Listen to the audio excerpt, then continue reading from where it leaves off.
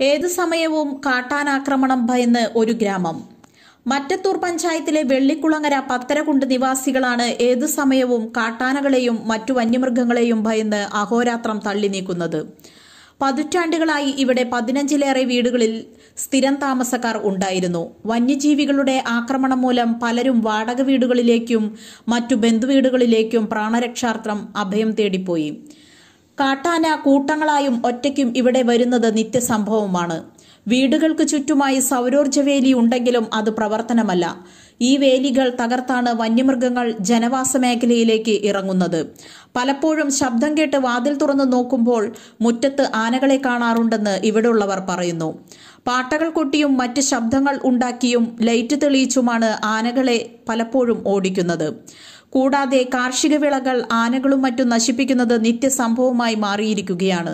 ഏതു സമയവും ആനയുടെ ആക്രമണം ഭയന്നാണ് കുട്ടികൾ മുതൽ വയോധികർ വരെയുള്ള ഇവിടത്തെ താമസക്കാർ കഴിയുന്നത്.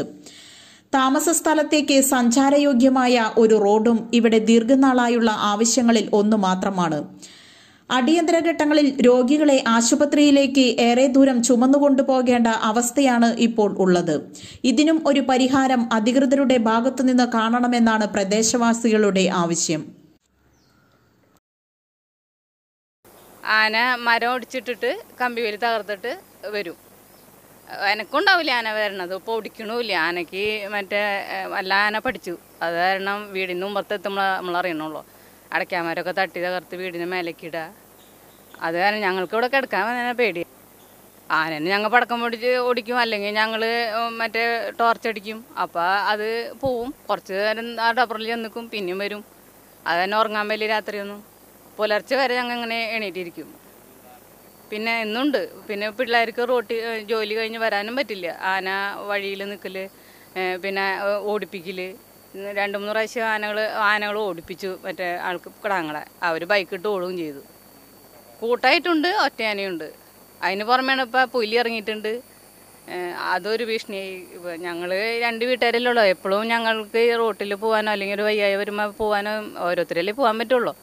അപ്പോൾ വരുമ്പോൾ ഈ സാധനത്തിനെ കാണും.